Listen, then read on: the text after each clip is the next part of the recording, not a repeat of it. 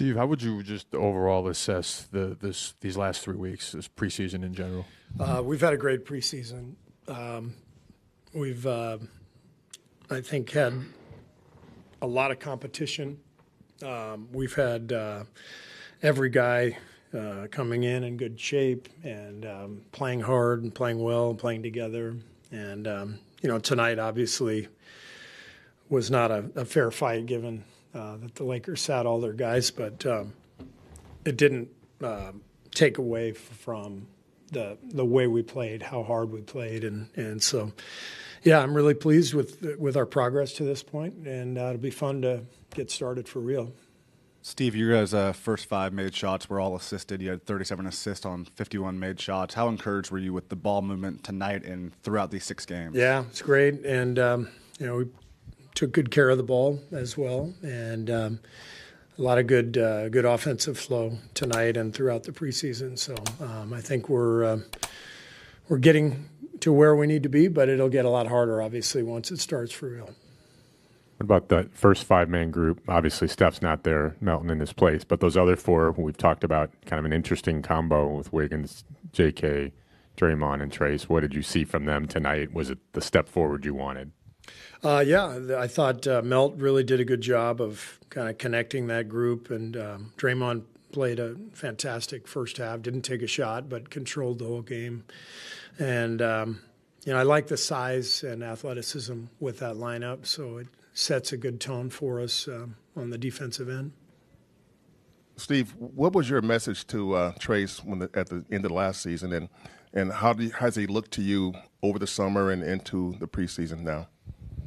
Uh, the message was keep, you know, keep working, keep getting better, and um, you know, run the floor. I mean, that's we talk to him all the time. When he sprints the floor, it's um, you can feel it. And I, I, say the same thing to J.K. and Wiggs. You know, we need those guys to get out and sprint. And and um, so I think Trayce, the last three games in particular, has uh, has really uh, been doing that. And um, you know, Melt, he and Melt have a nice connection on those lob passes. And um, yeah, Trayce has had a good camp. It's fun watching him. I know it's hard to take stuff away from this game in particular, but how would you evaluate the way that J.K. played today on both ends?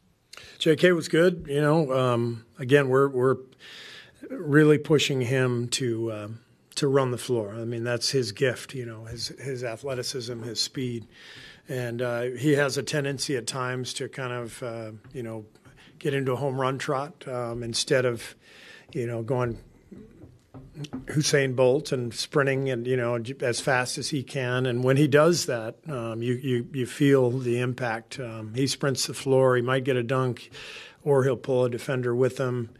You know, somebody else gets an open shot because of him. Um, so the last two games, he's run the floor harder and and uh, he's done some nice things. And then Moody being uh, the 11th player to touch the floor in the first half and starting the second half what was the um, decision making, the thinking with that? We have um, a whole roster full of guys who are capable of being in the rotation. I, I have some really difficult decisions to make uh, Wednesday night in Portland. Um, I, I, literally every guy on our roster is capable of of um, being in the rotation, which which bodes well for the 82 game season. You know, I think we're going to be well suited to play through injuries um, and um, you know any other absences. We, we, we're we're well prepared and, and well stocked to um, put a really good group of players out there. So, uh, but it makes for difficult decisions, and we'll see where we go on Wednesday. Um, but you know, there's there's going to be no matter how you slice it. Um, we're gonna we're gonna have to leave some good players out of the rotation. I don't know who that's going to be right now. I haven't haven't made up my mind because I haven't seen the separation um, because they've all been they've all been really good. To kind of follow up on Danny's question about Kuminga, um, how do you see what do you see from him defensively? You mentioned yesterday he still needs to get better on defense, and yeah. it seemed like some possessions I was watching he was engaged and active, and others he kind of drifted a bit. What did you think? Yeah, we're just we're working with him every day to uh, improve uh, his defense. Um, you know, he obviously has the uh, the the gifts, the athletic gifts to be a, a great defender, and it's it's really more a matter of being in the right spot, and so that um, you know when he closes out to players, he's on balance and um, understanding what you know other teams are trying to do. So. Um, it's uh, he's he's getting better and, and he'll keep working, but um, you know he, he has his moments where you, you see it and you know that he can be more consistent.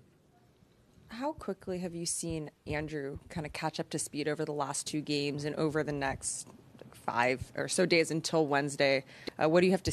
What do you want to continue to see from him as he continues to ramp up and stuff? Yeah, I mean, I, I thought he looked good tonight. He was moving well. Um, we got him up over 20 minutes, and and uh, so his conditioning is getting uh, getting there after the illness, and uh, we've got three more practices um, Sunday, Monday, Tuesday to to get uh, to get him, you know, another level up, and uh, he's. Um, you know, he's such a great teammate, great guy, um, hard worker. So he's he's doing everything he can to to be as ready as possible. Uh, how how would you characterize just how the, the chemistry of this group has evolved? uh, You know, on and, and off the floor, just kind of the emotional tenor that you you're gauging so far at It's this a, point. it's a great group. Um, we have, uh, you know, kind of a clear leadership at the top with, um, you know, Steph and Draymond, and I love the um, the vets that we've added, Buddy and and Kyle and and uh, De'Anthony. You know, they're um, really right in the primes of their respective careers, and and um, and then we've got these group of young guys. So I, I, I think it's a well constructed roster, both from a you know, a basketball standpoint, but also a chemistry standpoint. These guys like each other a lot, and they're they're having a lot of fun. They're competing. It's a good group. Thank you.